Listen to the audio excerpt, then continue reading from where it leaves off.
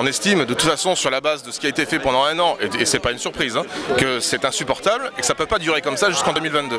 Donc euh, la vraie question c'est de construire l'unité sur cette perspective-là, sur cette position politique. Pour nous il ne s'agit pas de préparer les élections en 2022, c'est maintenant que c'est insupportable. C'est maintenant qu'il y a des étudiants qui se retrouvent sur le carreau avec Parcoursup. C'est maintenant que la SNCF est en train d'être privatisée, que les statuts sont en train d'être détruits et c'est maintenant que le gouvernement euh, s'attaque euh, aux, retraites. Donc c'est pas, pas supportable. La vraie question c'est de construire l'unité, de s'entendre, euh, l'ensemble des travailleurs et un maximum d'organisations pour en finir avec Macron maintenant. Ça suffit. Unité pour le chasser. Macron, un an,